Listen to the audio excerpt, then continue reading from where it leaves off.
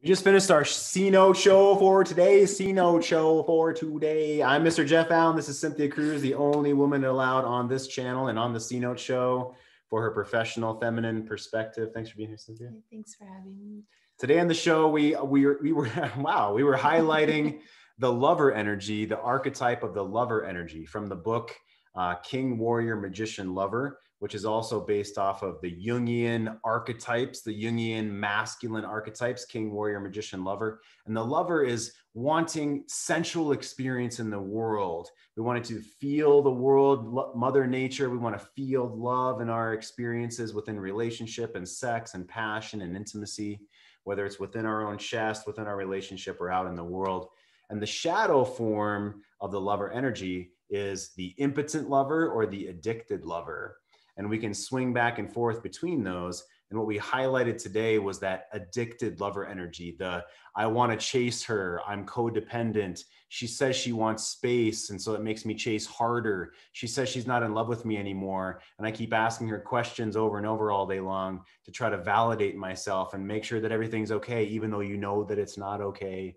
And that addiction, the trying to fill the colander of our soul, uh, as uh, my colleague Dennis Collins called it. It's not a hole in the bucket; it's the fucking colander where it just it just runs right through, right? So maybe you have that in your life right now. It feels that way in your relationship because she wants space, she's backing away from you, and you find yourself almost uh, being overtaken like a werewolf in the full moon of wanting validation and to chase her. So we, of course, you know that that's not going to help you, right? She's she's going to push you away farther. She's going to run away farther and faster if you chase her.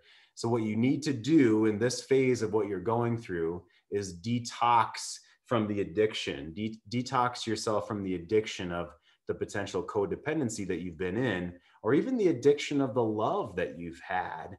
Doesn't mean it's necessarily a bad thing, but if you've been leaning on someone and they step away, if you don't have grounded feet within yourself, deep rooted uh, energy and belief in yourself, masculinity within your own self, you're going to fall over. And that's not good for you. That's not good for your family, your children, your career, and certainly not going to help you reattract your ex or that next woman in your life.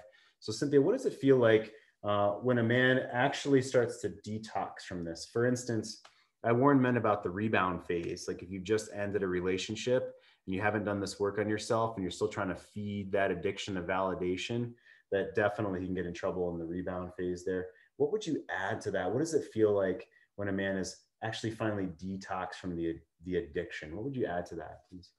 Yeah, well, I, anytime there is relationship, especially if there's you know over attachment or under attachment there's it's like these invisible strings between you and your partner and whether one person's pushing and the other is pulling that hook is there.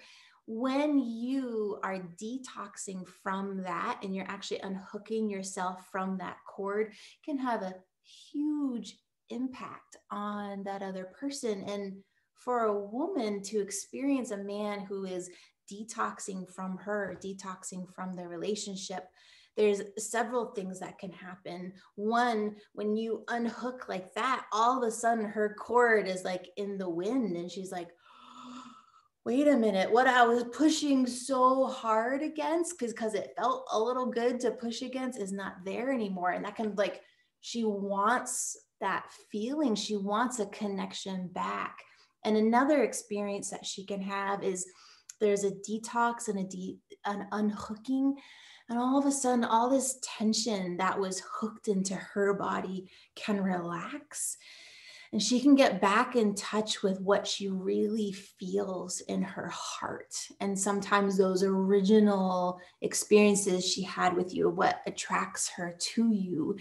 And uh, so regardless of what her feeling is whether it's a i do want to come back or it's there's a relief and she does move on the other way, that detox and that unhooking is going to be win win for everyone involved, whether it's relationship back with her or you detoxing her and then moving on to something that is much more magical, wonderful, powerful, and what you're truly wanting in relationship.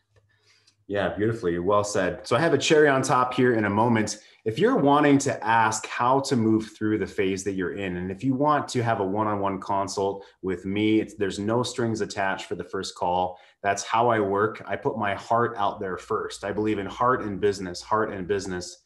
And my heart is to do a one on one consult a full hour. I don't do the 15 minute BS. It's a full hour. I don't talk business at all during that hour. Go to www.greatmenmovemountains.com slash contact and fill out the form to get in touch with me.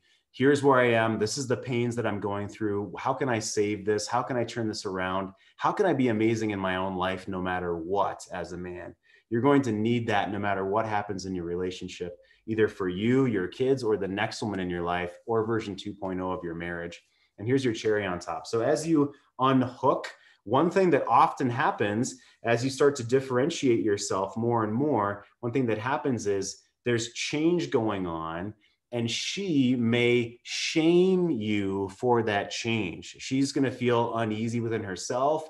Now she may praise you for that, that that's great, but what's often is that she starts to feel uneasy and she's not even aware of it necessarily. There's an unconscious reaction. And this works either way. If she starts to outgrow you, you might actually not feel good about that, right? And how you handle it shows the level of emotional control and maturity that you have when you're facing something that's difficult. So as you outgrow her potentially, as you grow within your own self, let's say, she may shame you and say that you're being selfish or now you're narcissistic, or uh, what are these changes that are happening? You're being more of an asshole now. That doesn't necessarily mean that those are all bad things. And what she's saying may not necessarily be true. It's from her point of view, she's feeling fear and change and uncertainty.